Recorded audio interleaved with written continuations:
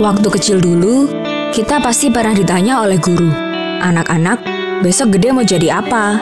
Dengan sepenuh hati, kita kompak menjawab, "Jadi dokter, Bu Guru. Jadi insinyur, Pak Guru." Itulah profesi impian jutaan anak-anak Indonesia dari dulu dan mungkin sampai sekarang.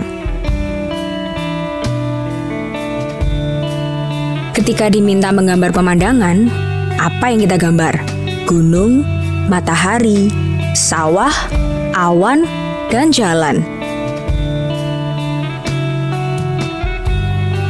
Itulah gambar favorit jutaan anak-anak Indonesia dari dulu sampai sekarang.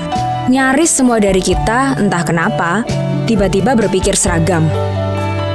Seolah di muka bumi hanya ada gunung, matahari, sawah, awan, dan jalan. Seolah profesi keren di planet ini hanya dokter atau insinyur. Pikiran mampet, energi kreatif ikut macet. Pendidikan seharusnya memompa kemampuan seseorang untuk mengenali dan mengolah segala kemungkinan.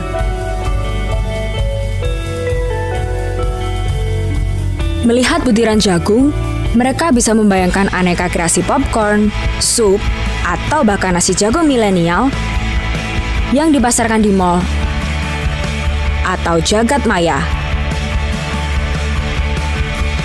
Melihat onggokan jagung, mereka bisa membayangkan dirinya sebagai food blogger, konten kreator, digital marketer, atau kreatif entrepreneur.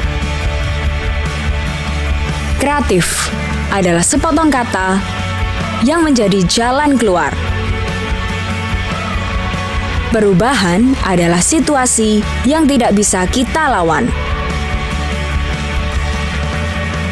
Tanpa kreativitas di tengah badai perubahan, apa bedanya dengan mati? Masa kini dan masa depan butuh manusia kreatif yang melihat dunia jauh lebih berwarna dari sekedar gunung, matahari, sawah, awan, dan jalan. Masa kini dan masa depan butuh manusia kreatif yang melihat dunia jauh lebih menantang dari sekedar menjadi dokter atau insinyur. Itulah alasan mengapa kami dilahirkan, dan ke sana pula langkah kami ayunkan. Kami merayakan segala ketidakpastian dan perubahan dengan gairah kreatif, pikiran reflektif, dan sikap profesional.